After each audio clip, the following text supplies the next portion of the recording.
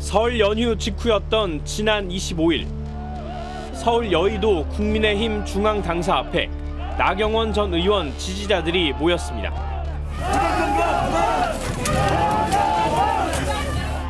굳은 표정으로 등장한 나 전 의원. 대표님 그 윤핵관 압박 때문에 불출마 결정하셨나요? 대표님 대통령실에서 비토해서 출마해서 뭐 하는 거야 지금? 새해 벽두부터 정치권을 달궜던 그의 국민의힘 당대표 출마 여부는 이 자리에서 싱겁게 결론났습니다. 저는 이번 국민의힘 전당대회에 출마하지 않습니다. 우리 당의 분열과 혼란에 대한 국민적 우려를 막고 화합과 단결로 돌아올 수 있다면 저는 용감하게 내려놓겠습니다. 나경원 전 의원은 사선 경력의 원내대표 출신입니다. 유력한 당권 주자로 꼽히며 오는 3월 전당대회 출마에 무게가 실렸는데요. 하지만 우여곡절 끝에 뜻을 접었습니다. 앞서 보신 대로 당의 분열과 혼란을 막아야 한다는 겁니다. 자신의 출마로 당이 분열된다는 말, 좀 고개가 갸우뚱해지는데요. 이 대목에서 많은 사람들은 윤석열 대통령을 떠올립니다. 나 전 의원이 자신을 외면한 이른바 윤심에 굴복했던 거죠. 이번에만 그런 게 아닙니다. 현 정권 들어 여당의 크고 작은 일에 용산의 입김이 작용하면서 대통령이 이렇게 당무에 개입해도 되냐 하는 논란마저 거세지고 있습니다. 유력 당권 주자들 가운데 나경원 전 의원은 국민의힘 지지층의 선호도 1위였습니다. 작년 10월 10일 그의 페이스북 이제 슬슬 당권 경쟁이 시작되나 보다. 유승민 전 의원이 공유한 여론조사가 흥미롭다. 같은 여론조사에서 국민의힘 지지층 7주 연속 1등은 나 본인이라고 구태여 언급하지 않겠다라고 적었습니다. 공교롭게도 이 글을 올린 사흘 뒤 윤 대통령이 나 전 의원에게 장관급 자리를 줍니다. 대통령 직속 저출산 고령사회위원회 부위원장. 이어 그 다음 주에는 나 전 의원을 기후환경 대사로도 임명했습니다. 이쯤 되자 당대표 선거에 못 나가게 하는 거란 해석이 나왔죠. 그렇지만 나 전 의원은 별로 개의치 않는다는 눈치였습니다. 비상근 자리이기 때문에 어떤 제한이 있지는 않습니다. 위태롭던 양측 간 긴장은 새해 들어 폭발했습니다. 이달 초 나 전 의원의 한마디 때문이었습니다. 저출산 대책의 하나로 아이를 낳으면 부모의 대출 원금을 탕감하는 방안을 검토 중이라고 말한 겁니다. 돈 없이 출산율이 제고되지는 않는다라는 말씀을 드리고요. 그러자 대통령실이 하루 만에 발끈했는데요. 윤석열 정부의 관련 정책 기조와는 아, 상당한 차이가 있다는 것을 말씀드리겠습니다. 대통령실의 격앙된 반응에 나 전 의원은 우려를 이해한다고 했지만 당내 친윤석열계 인사들까지 가세해 윤 대통령 편을 들었습니다. 정부와 반해서 자기, 나의 길을 가겠다. 이게 바로 저 예전에 했던 유승민의 길 아닙니까? 당권 도전을 하지 말아라 하는 이런 뜻이 내포되지 않았나 이렇게 생각을 하는데 거기에 좀이 반대된 방향을 보이니까 그런 격한 반응이 나오지 않았나 이렇게 추측을 합니다. 결국 나 전 의원은 부위원장에서 물러나겠다는 뜻을 대통령실에 전달했는데요. 윤 대통령은 사표를 수리하는 대신 징계성 조치를 취했습니다.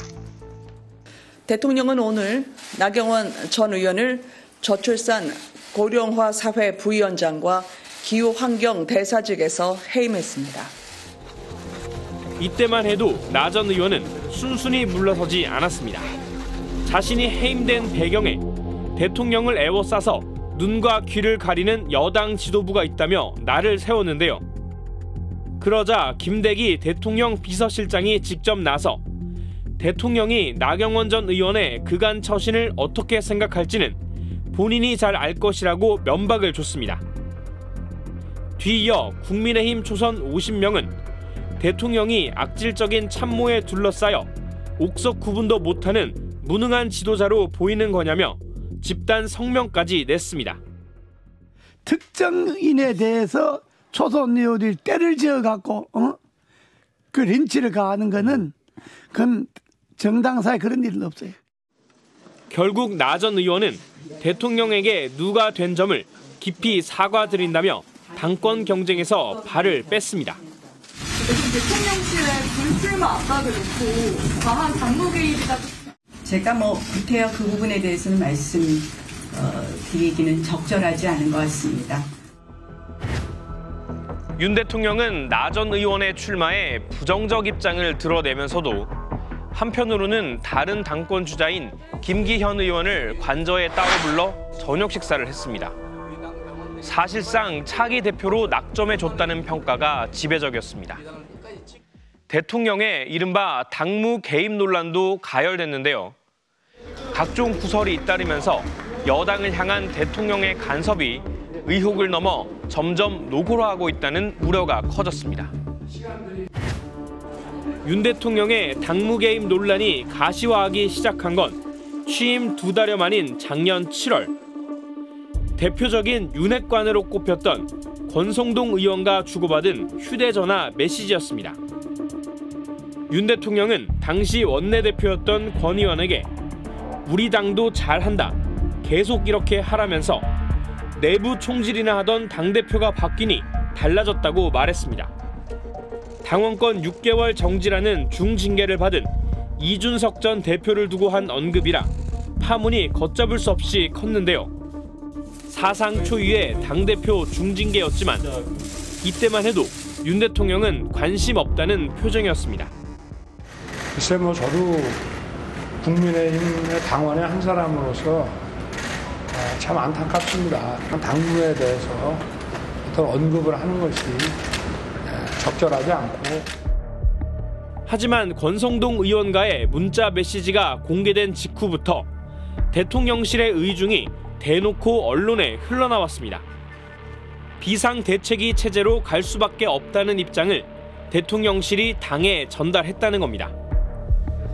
이준석 대표 체제를 해체하고 새 지도부를 구성하라는 뜻이었습니다. 곧바로 신윤계 최고위원들이 당직을 사퇴하고 이렇게 되자 당내 규정에 따라 기존 지도부 대신 비상대책위가 출범했습니다. 이런 과정에 문제가 있다는 법원의 가처분 결정이 나왔지만 국민의힘은 다시 한번 비대위를 구성하는 파행까지 마다하지 않았습니다. 문제되는 메시지를 대통령께서 보내시고 원내대표의 부주의로 그 메시지가 노출되었는데 그들이 내린 결론은 당대표를 쫓아내는 일사불란한 절차를 진행하는 것이라면 전혀 공정하지도 논리적이지도 정의롭지도 않은 판단입니다. 이준석 대표를 사실상 몰아낸 뒤 여당의 고민은 전당대회 규칙이었습니다. 원래 당대표는 당원 투표 70%에 국민 여론조사 30%를 합산해 선출합니다. 그런데 지난달까지만 해도 여론조사에서는 반윤의 대표 주자로 통하는 유승민 전 의원이 줄곧 1위였습니다. 여기서 또 용산이 등장합니다. 당원 투표 100%가 낮지 않냐는 윤 대통령의 발언이 언론에 보도된 겁니다.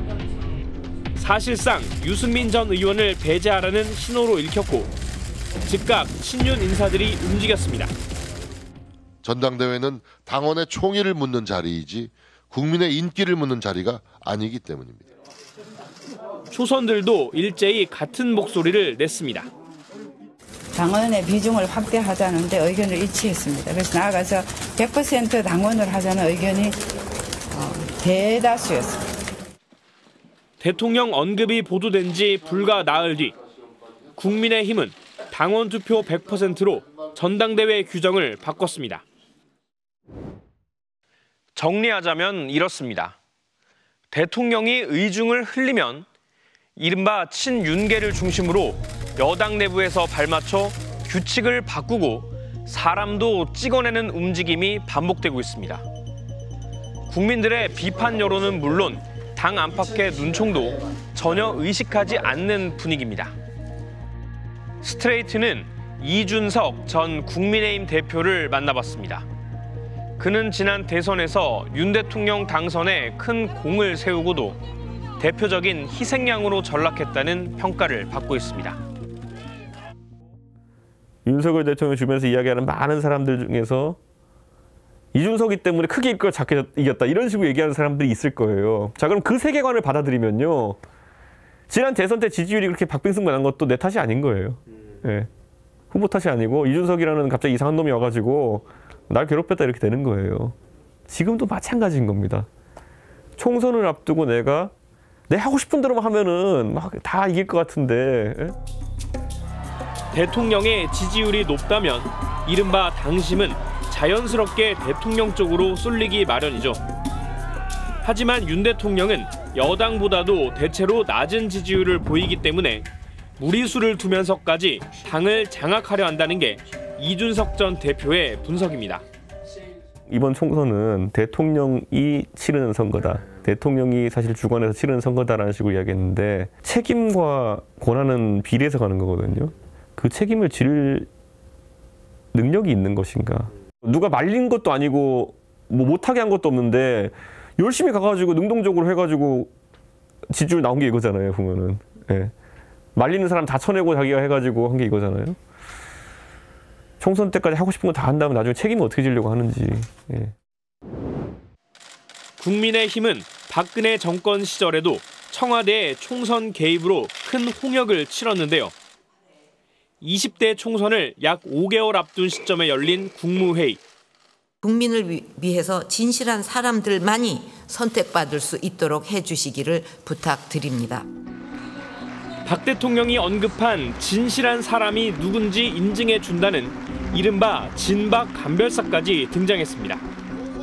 친박의 대표 주자들이었던 최경환, 조원진 의원 등이었습니다. 오늘날 윤핵관의 핵심으로 통하는 장재원 의원도 당시엔 진박으로 감별되지 못해 공천이 좌절됐는데요. 박근혜 키드라 불렸던 정치 신인에 밀려 무소속으로 출마했습니다. 예, 꼭 좀 지켜주십시오. 더 열심히, 더 열심히 봉사했습니다. 감사합니다. 예. 당시 공천 학살의 결말 어떻게 됐습니까? 김무성 당대표가 공천장 날인을 거부하는 이른바 옥새 파동까지 일으킨 끝에 새누리당은 당초 예상과 달리 원내 제1당 지위를 반납했는데요. 선거 패배에 그치지 않았습니다. 훗날 박근혜 전 대통령은 당시 공천 개입 혐의가 유죄로 인정돼 징역 2년을 선고받기도 했습니다. 그런 경험 때문이었을까요? 문재인 정부 들어 야당인 자유한국당은 대통령의 중립을 엄히 강조했습니다. 이른바 조국 사태 당시엔 청와대와 민주당을 향해 친문 독재라는 표현까지 동원하며 비난했는데요. 문재인 대통령에게 엄중히 묻는 바입니다. 문재인 대통령은 한쪽 친문 세력의 수장입니까? 아니면 대한민국의 대통령입니까? 하지만 국민의힘은 정권을 탈환하자 금세 태도를 바꿨습니다. 대통령의 당무 개입 논란에도 저마다 친윤임을 부각하며 충성 경쟁을 벌이고 있는 겁니다. 대통령과 눈빛만 봐도 서로 뜻이 통하는 사람이 되야 뜻이, 뜻이 통하는 당이 되야 된다. 대통령과 집권 여당은 샴쌍둥이 같은 한 몸이 되어야 합니다. 중진들의 친윤 인증에 너도 나도 동참합니다. 나경원 전 의원에 대해 대통령을 허수아비로 만들었다고 나를 세운 국민의힘 초선 의원은 50명. 당내 초선이 63명이니까 거의 80%에 달합니다. 현역 의원들 같은 경우는 말씀하신 것처럼 여유가 없어요. 그리고 내가 내 자리를 지키는 제일 좋은 방법이 뭡니까? 나보다 약한 사람을 밀어내면 되는 거잖아요. 그러면 끊임없이 비주류를 만들어내고 그 사람들을 배제하고 타자화 시켜가지고 내 자리를 지키자는 거죠. 윤 대통령이 당장 현행법이나 당원 당규를 어겼다고 보기는 쉽지 않습니다. 당무 개입의 어떤 형식적 조건을 부합하느냐 아니냐의 문제로 보는 것은 너무 문제의 핵심을 축소시키는 것을 이해할 수 있을 것 같습니다. 정당의 이 정책이나 운영에 결정적인 영향을 미치고 있다는 것이 그 사실이 중요한 거죠. 특히 국정농단 수사를 책임졌던 윤 대통령으로선 이른바 내로남불, 남에게만 엄격했다는 비판에서 자유롭기 어려울 수 있습니다. 대통령이 공천에 개입해가지고 이것저것 해보려다가 실형까지 받은, 받았던 게 대한민국인데 역설적으로 그것을 수사했던 검사가 만약 비슷한 일을 하려고 한다 그러면은 자기 부정입니다. 예. 저는 그렇기 때문에 그 부분은 아마 대통령께서 염두에 두고 계신 게 있을 거라 보고 다만 이제 그거를 박근혜 대통령 걸렸으니까 문제고 난 안 걸리면 돼라고 생각하는 방향으로 진화한다면 대한민국 비극이죠 그거는. 일반 당원들도 불안감을 숨기지 않습니다. 자기 지역구만 봤을 때는 이길 수 있다라고 보는 거고 전국을 놓고 봤을 때는 과연 이길 수 있냐는 거죠. 근소한 채1% 차이도 아니었다라면 지금 여기서 갈라치기 하면 질 것 같다. 저는 이렇게 보죠. 최근 세 차례의 큰 선거를 연달아 승리한 국민의힘.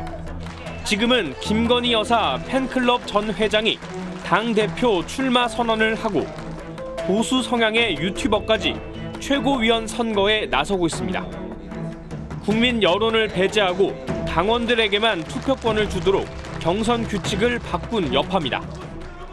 선거 같은 이 성찰의 공간이나 미래 계획의 공간이라기보다는 자신들의 이 일방적인 정파 성격을 확인하는 공간을 꾸려질까 그게 더이 걱정이 되는 측면이지 않, 않는가 싶습니다. 과거엔 대통령이 여당 총재까지 맡아 당무를 좌우하던 게 관행이었습니다.